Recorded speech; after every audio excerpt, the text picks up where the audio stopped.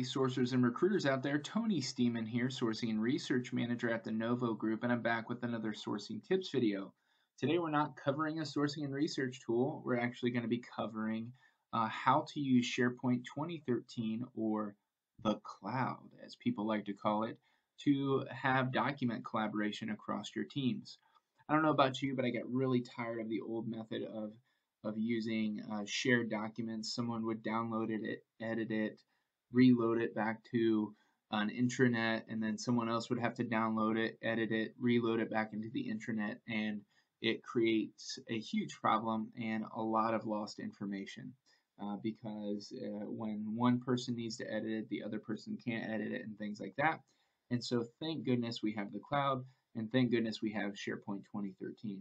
And so, if you follow the methods in this video, by the end, you'll be able to uh, create documents in the cloud on SharePoint, share them with your specific team on a project, and collaborate across the document in a live method um, and have uh, no worries about lost information along the way.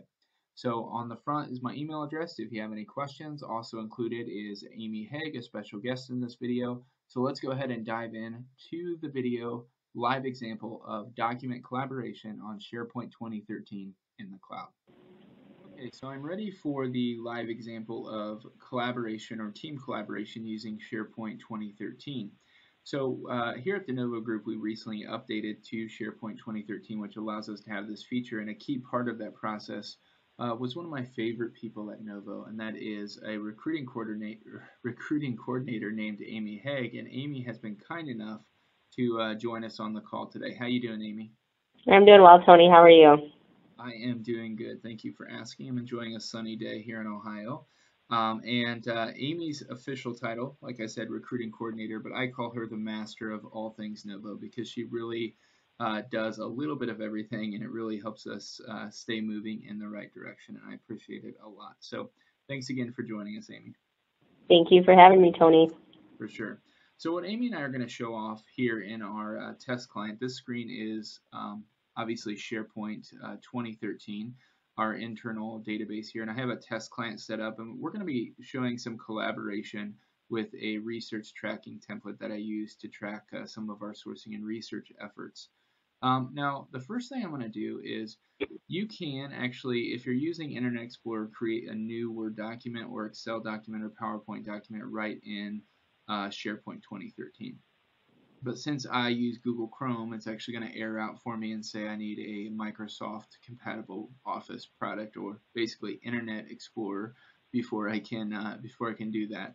But what I an, an, alternative to that is I actually keep my templates on my desktop and uh, upload those templates directly to SharePoint. I can do that in Chrome and I can edit the documents in Chrome. So if you use Chrome, it's really just a quick workaround and you're actually able to get a lot of good results. Um, now, the first thing I want to do is if Amy and I are on a team together working on a research tracking document or a document that we just need to edit uh, different points throughout the, the life cycle of a project, I need to share that document with Amy. So what I'm going to do is click this little checkbox right here and just hit the share button. And then all I have to simply do is type in Amy's name and Amy pops up there and I give her permission to either view the document or edit the document. And since we're going to be collaborating together, I'm going to let her edit the document. Now I can include a personal message just to write research video test so she knows what it is and I can just simply hit share. And now Amy has full access to that document and she'll be getting a email that says so and all she'll have to do is click on the link to access the document. Now if you're using an older version of Office on your computer and you click the document, it will automatically download. And it's kind of an archaic method because it actually downloads, then you have to type the changes you want to make. There's no collaboration, you have to re-upload it to SharePoint. If you're using a new version, it will automatically open the document in Word Online. But in all methods, if you simply click these three dots right here, I believe those are those ellipses, Amy. Is that what those are called? I believe so. okay, we'll take a good guess. If you click those, um, then simply hit Edit or Edit in Browser. It will actually open up the document for you in a version of Word Online. And what you're seeing is a fully featured version of Microsoft Word that opens up in the cloud. And the reason that you want to use this when collaborating with the team is because all changes are automatically saved. So my computer's running a little bit slow with the screen capture software, so I apologize for that. Um, but once you're inside of here, uh, Amy, have you started editing the document yet? I have. Oh, there you go. See, it says, it'll tell you all the people who are editing the document. So it pops up with a little notification that says Amy Hegg is editing the document.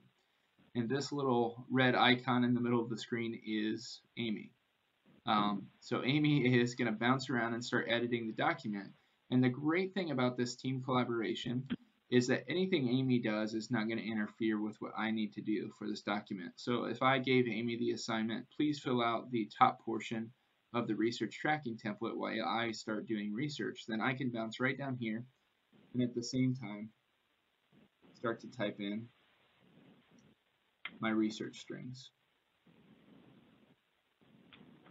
If I can spell today. Now, the really cool part of this is that we never have to click save. So if I go over here and hit file and try to save it, it says there's no save button. There's no save button because we're automatically saving your document. And what this means is it's automatically being saved on SharePoint in the cloud. Now, if I want to download a copy or download a PDF, I can do that. But other than that, I can continue to collaborate with Amy for days, weeks, and months on this project, however long it takes. We continue to add to this document, continue to track all of our research efforts. This can be used for scorecards, for dashboards, uh, anything like that. It can actually be used for any of the Office programs. So Microsoft Word, Microsoft Excel, PowerPoint. You can actually have those documents in here and do great team collaboration. If you think about the old method of using uh, SharePoint, it was really archaic, right? Uh, you had to download the document, you had to physically type, hope that someone else on your team didn't need it at the same time because they would be locked out of it. and you would have to resave it to the server, then let someone else update it.